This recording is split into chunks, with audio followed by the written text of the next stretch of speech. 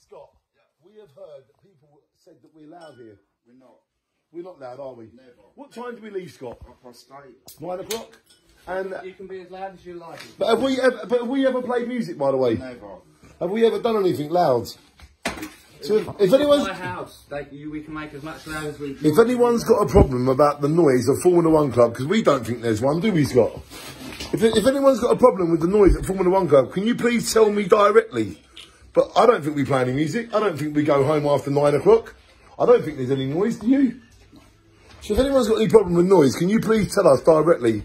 Or how else would we know, Martin? Exactly. How would we know if there was a noise problem? If you've got a problem with noise, I'll give you a problem with noise if you want. There you go, ladies and gentlemen. If you've got a problem with noise, there can be many problems with noise if you wanted them, but there is no problem with noise. And if you've got a problem with noise, can you please let us know? We are the Formula One Club, and we don't hurt anyone. Sign on, Martin.